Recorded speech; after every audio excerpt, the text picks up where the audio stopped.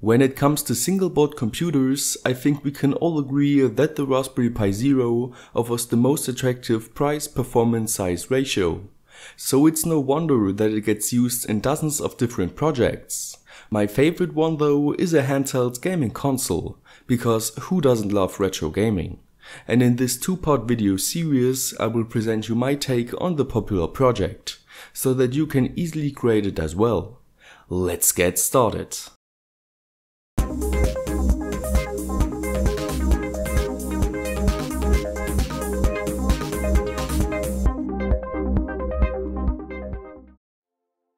For starters, we need a 8GB microSD card, which I firstly formatted to its standard settings. Then I downloaded the Recalbox operating system from their GitHub page, unzipped it at the root directory of the SD card, and finally plugged the SD card in the Pi. Now it is time for power, but such a 5V charger is not portable and the micro USB cable is bulky so we might as well use the breakout pins PP1 for 5V and PP6 for ground. For portable power I went with 4 classical Eneloop nickel metal hydride AA batteries that will later be placed inside the integrated battery compartment of my handheld. When fully charged those have a voltage of roughly 1.4 volts and will be almost completely discharged at a voltage of 1.2 volts and since all of them will be placed in series, we are basically working with voltages between 5.7 volts and 4.8 volts, which does partly exceed the USB standard voltage. So I connected the Raspberry Pi to my lab bench power supply to check whether it would work correctly with the given voltage range. Which it did, because the utilized DC-DC converter, the PAM2306, works with a maximum voltage of 6.5 volts.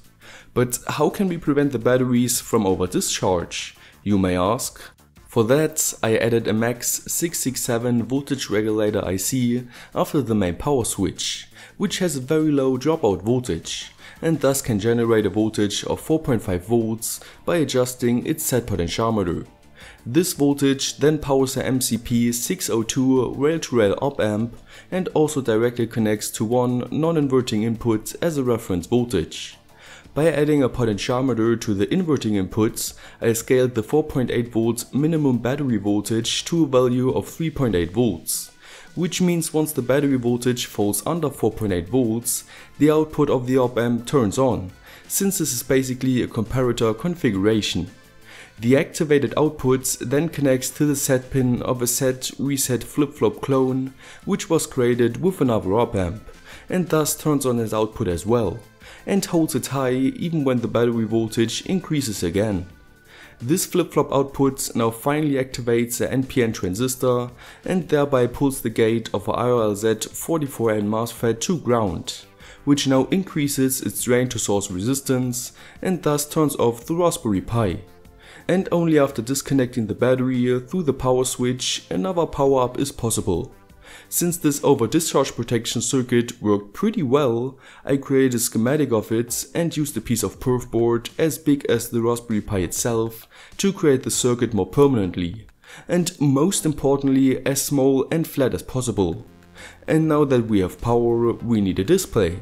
For that I got myself a 3.5 inch rear-view monitor, which sadly only works with voltages above 6 volts, which means our battery voltage is too low. But luckily, after I slowly and carefully removed the case of the LCD, I realized that the circuit uses a XL1509 IC to step down the input voltage to 5 volts. So I removed this IC and soldered the input wire directly to the output pin 2. And best of all, it did work, even with voltages from 4.8 volts to 5.7 volts but for the first power-up of the system, a HDMI compatible screen is still mandatory. After the installation was complete, I switched the system to Raspberry Pi B, because I could plug in my keyboard and Wi-Fi dongle simultaneously without having a USB hub laying around. I used the keyboard to enter the network settings and typed in the access information for my network. After establishing a connection, I started the software WinSCP and logged into the Pi as a root user with the passwords recalbox root. Then I opened the command prompt and entered this command, which enables me to edit the configuration file in the boot directory of the system. There I added a hash symbol to all lines that include the word HDMI and activated overscan as well as the SDTV outputs before saving the changes. In addition to that, we also need to edit the recalbox configuration file by simply changing the global.video mode to default. Now with those changes, the Raspberry Pi Zero can output its video signal through a composite video cable, and thus we can use the small rear-view LCD. Next is the audio, which the old Raspberry Pi B offered through a 3.5mm jack, but the Zero type does not have such a jack. Instead, we need to change the GPIO audio output pins in the configuration file. Connect pin 13 to a RC filter circuit, followed by a potentiometer wheel, and then finally to the PAM8403 audio amplifier. Since the IC works with voltages from 2.5 to an absolute maximum of 6 volts, we can simply connect it to the battery voltage. Its plus output to a slide switch, which connects to a speaker and a 3.5mm jack for headphones, and finally the negative outputs to the other side of the speaker and jack.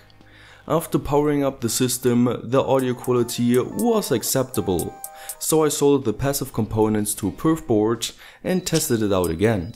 But as you might already have noticed, the sound is only mono, not stereo. The reason for that is that we need the other audio GPIO for the controls, which we firstly need to activate in the Recalbox configuration file, but only for player 1. After rebooting the system, the controller acts according to this given representation of the GPIOs. So it is basically an act of connecting the individual inputs to ground to achieve the described action. Later on though, I will be using a perf board with copper strips on which the conductive material of the buttons will press in order to connect the input to ground and thus activate the action. And just like that the general structure of the Raspberry Pi handheld was complete and already works like a charm. But for your convenience I created a more easier to follow overall schematic of the system as well.